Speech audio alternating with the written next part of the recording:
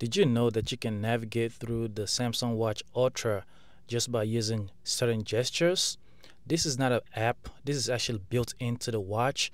You can do so much with this watch. You can even use a mouse that uses the gyro uh, sensors in the watch, but more on this in the later part of the video.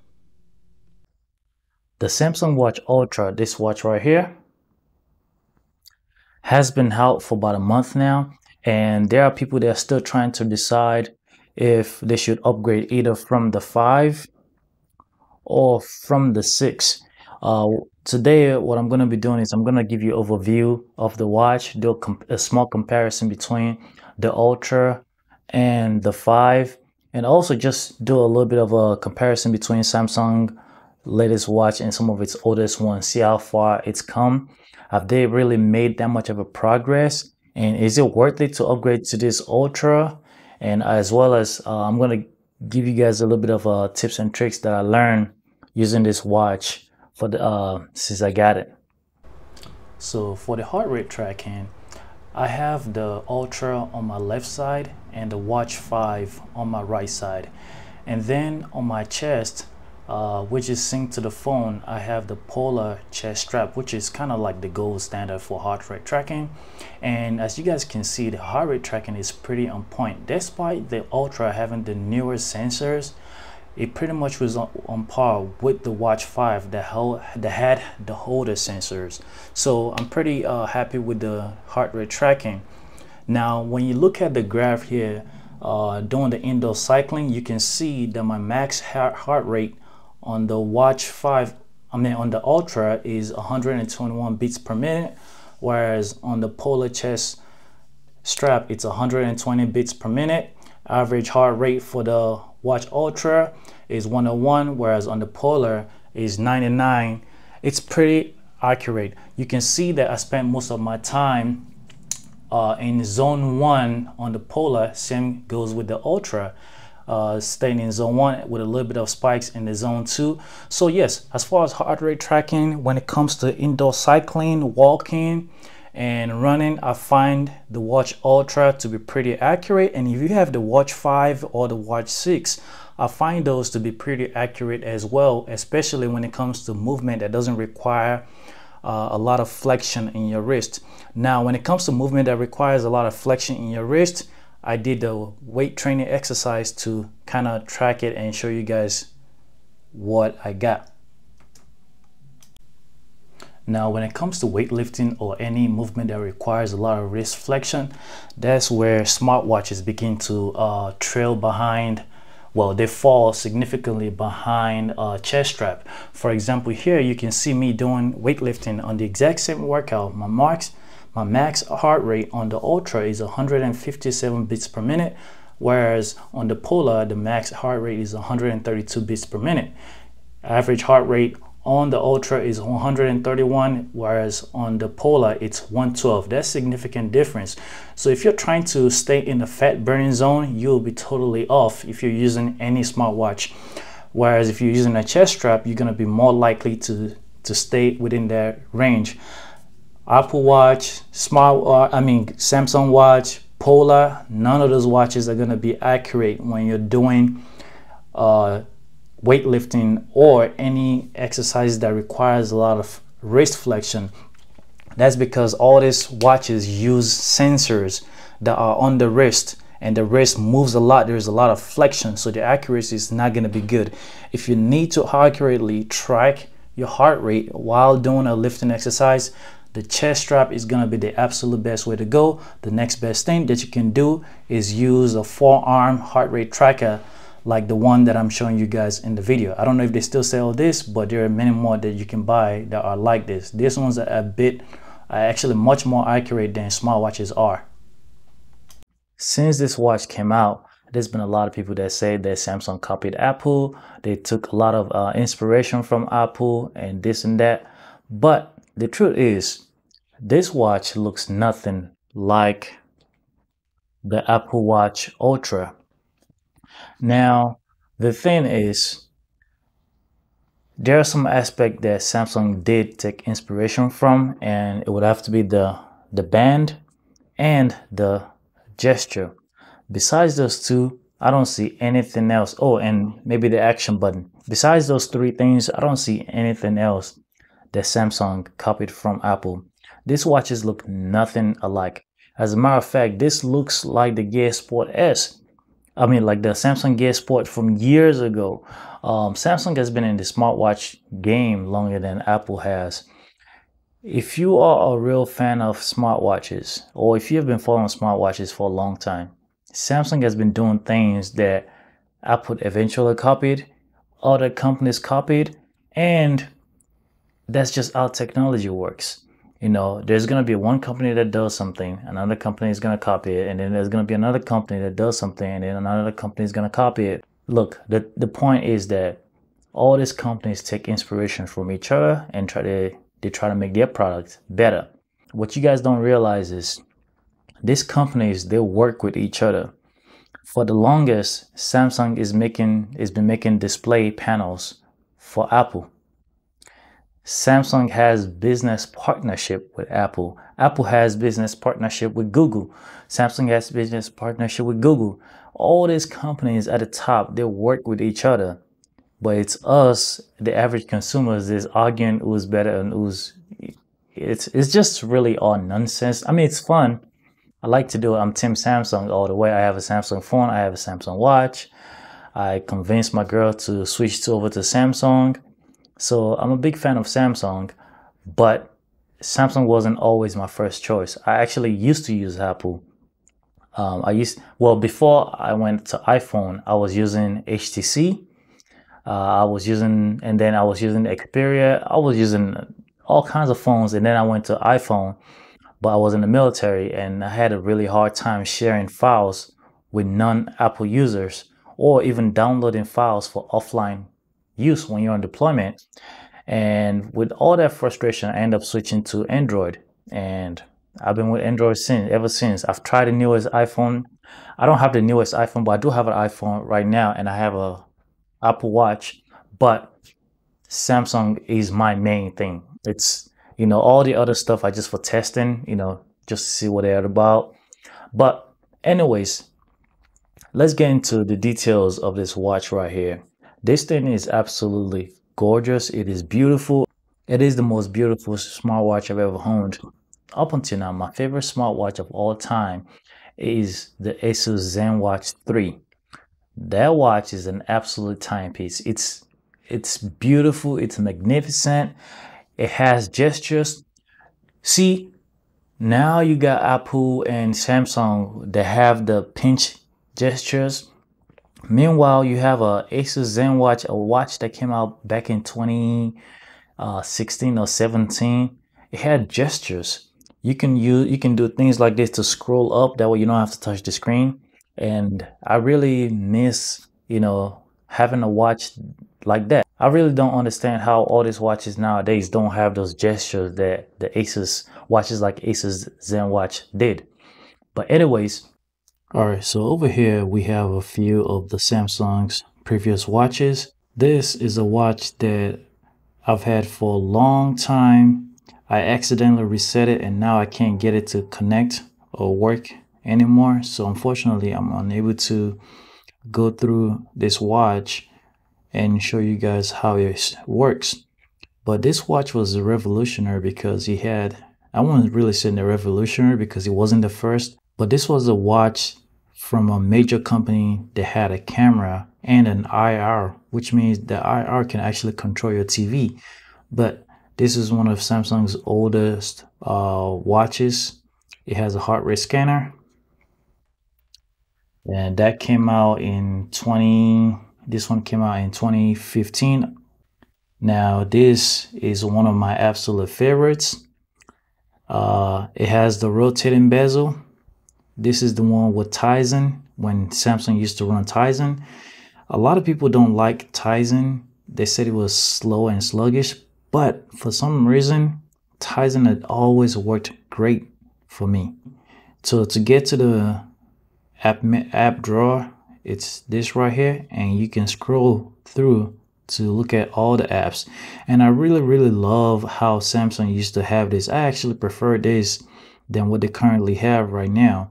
As you can see you have all your apps um, you have the galaxy store and you can scroll through just like that or you can even just use your hands to swipe just like that. But having this rotating bezel was really really cool.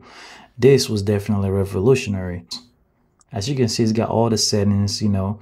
You have your bluetooth uh, it has a speaker. By the way samsung has speakers on their watches before apple but you wouldn't say apple copied samsung. By now having speakers. Anyways i really love the rotating bezel on this uh, watch right here. It's a classic. I really really love it. At the time it came out i would only wear this uh, to work out or go places but i would not wear this to sleep because it was just too bulky and it felt it felt really heavy. Now the watch ultra is a bit bulky as well but it just doesn't feel quite like this one so before this i had a watch active which was the uh, galaxy watch 4 and it was the first time that i had switched to this type of watches from the classic kind. I went with this style because uh, it was easier to work out with and it felt easier to sleep with. This is the watch 5 by the way. I don't have the watch 4 because I traded the watch 4 to get this one. So this is the correction. Yeah, so this is the watch 5 right here. Now as you can see, you have your this is when Google this is when Samsung switched to the Google Wear to Android Wear. So now you have your menu like this, opposed to before on the Sam and Tizen when you had this. Like I said, I personally prefer this over this. The only benefit to Android Wear that I see is that you can download more apps. Other than that, I really don't like this look right here. I prefer this. This was just classic. That's why I kept this watch. That's why I never traded in. It still works. As you can see, I have all my, you know, health data and everything is still in here. It still works. So I can wear this as much as I want to, you know, and it still connects to my phone. So that's the watch 5. Now with the watch 6, there really isn't now this is a smaller version of the watch 6 because this is my girl's watch honestly, there really isn't much of a difference. There's actually very, very little difference between the Watch 5 and the Watch 6. I did a test of the heart rate and heart rate scanner, and the heart rate scanner for the Watch 5, Watch 6, and the Ultra are very on par. They don't seem so, even though Samsung has all these new sensors now, I really don't understand. I'm really not too sure what the benefits of all these new sensors are. When the heart rate sensor for the Watch 5 was keeping up with the Watch 6, I mean, with the Watch 7, well, with the Ultra, the heart rate was pretty much on par. I will show you guys a screen overlay of me working out and showing you guys. Now, as far as the Watch 5 compared to the Watch 6, all I can say is that the only difference that I can see is the, the speed. So this has a little bit of a lag to it, whereas this one is just much, it's just, I won't say much faster, but it is a bit faster than this. But other than that, Watch 6, Watch 6 and Watch 5 are very, very similar. Uh, the thing is, with the newest update, there is a gesture control on this one now. So this Watch 6 now has a gesture when I say gesture, it means that you can, um, you know, do the double tapping and whatever, like this one has. So now this one has gesture. I don't know if this one has a gesture in this in the update, but as far as the back, they look virtually identical. They both have the temperature sensors. The heart rate scanners look the same. And now the Ultra. Now this right here is where things begin to look very different.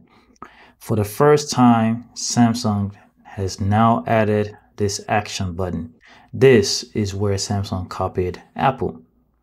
So you can see that Samsung previous watches only had two buttons. Two. Here it had a two button, but it also has a rotating bezel. this one only has one button, but the screen is touchscreen as well. So anyways, now uh, unfortunately with this one, you don't have the rotating bezel like you do. Man, having a rotating bezel is just so satisfying. You have a digital rotating bezel, but it's just not the same. Like anything touchscreen is just not quite the same as having, you know, a rotating and physical rotating bezel. So, taking it to the back, like I said, the heart rate sensors look virtually different now, but they still track the same. In my testing, the heart rate sensors still work the same. They both have the temperature sensor right here. All of them have the temperature. Well, all three of this have the temperature sensors. Now, the quick release is pretty dope. I see a lot of YouTubers doing it wrong. You're supposed to press it and then pull. And to put it back, you press it and put it in. You don't force it in. That's how you're supposed to put it back in there. With this Watch 6, you also have this quick release. You press it down and you can remove the straps. You press it down again. This is a bit more difficult, but you press it down again and you are good to go. Whereas with the Watch 5, you have to slide this quick release right here. The benefit to this is it allows you to put in different straps quite easy. But this one is proprietary. Now the thing is, even though it is proprietary, you can easily get different watch straps for this watch right here. And I'm to show you guys one of the straps that I bought for this. This is a watch strap that I got from Amazon for the Watch 6. I mean, for the Watch Ultra. I'm not really sure which one is top or bottom, but I'm just going to put it in there. As you can see, it's pretty, pretty easy to put it on. You just simply press it and you are good to go.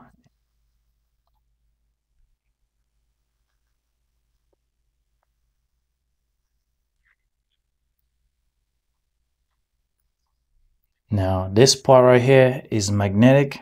As you can see, this watch strap is pretty dope.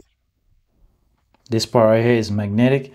The only thing I don't like about this particular one is that this gap is a bit big on this side. But other than that, you know, it's a pretty dope watch strap. So one of the things that I noticed is the Google Assistant has been killing the battery on this watch right here and I don't know why but Google Assistant does and Bixby doesn't actually use much battery. Now this is not well known but Bixby actually works very well on this watch right here. I use Bixby for a lot of this stuff. Now instead of using my voice to wake up the Google Assistant I just use the gesture and that opens up the Google Assistant. By doing it this way I can save a whole lot of battery instead of having the hey, you know, that activated via voice. I can also customize this button right here to wake up Google Assistant. I find that to actually save a whole lot of battery. Now, everyone knows, well, most of you know about the gestures, right? There's another type of gestures that most of you might not know about, and I'm going to show it to you guys. To activate that gesture, what you want to do is you want to go into your search and type in universal universal gestures. Once you type in universal gestures, you're going to click on it. And you're going to see universal gestures. You're going to turn it on. And it's going to tell you that once you turn on universal gestures, it's going to turn off your double pinch, shake to dismiss, you know, on the other type of gestures. You're going to turn this off and you're going to turn on activate universal gestures. Now, when you activate universal gestures, you can set how you want it to wake up and I'm going to show you guys exactly what I mean. So for me personally, I have this to wake up the universal gestures. There is a ring that just came on. I'm going to change the ring color that way you guys can see it better so right here you can choose the indicator color I'm going to change it to green so that you guys can see when it comes on. You see that green? That now that's the gestures. Now look at this. Now I just open quick uh you know like a menu if I want to bring up notifications I can just double pinch. If I want to swipe the tiles I can just do that. And now that will swipe the tiles now if I want to uh, resume playback I can do that or I can just go to the next one and I can hit play. I can switch to you know different stuff. I can basically use this to navigate the entire watch. Uh, no go back. If I want to go back I just and that takes me back one more time. That takes me back this is usually beneficial for if you are playing music or something and you want to click on play or you want to click on next the regular gesture will only allow you the regular gesture would only allow you to click on play or things like camera you take a picture whereas with a universal gesture you can pretty much control the entire screen.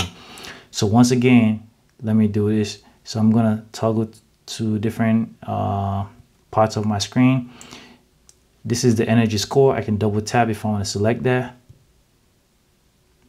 And that pretty much goes through the energy scores. And if I want to go back I just shake it.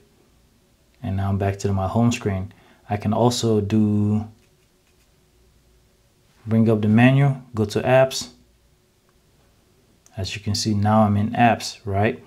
I can scroll through whatever app I want to select if I want to select uh, maybe I want to select uh, smart light I mean smart things I just double uh, double pinch. And now I've just selected smart things. If I want to go back I can just shake it and go back. If I want to go back to a previous apps I just double uh, make a face twice you know it's it doesn't always work exactly how you want to but it just takes some getting used to. If I want to scroll down, there's a tutorial on how to do this exactly. You can scroll down some more. You can edit the watch faces, which is crazy. Now this is a cursor which you can use to select items on the screen. So let me show you guys how it looks. As you can see I can move it around and the mouse goes wherever. So if I want to select the heart rate now that's I selected the heart rate. If I want to measure my heart rate I just scroll down and now it's measuring my heart rate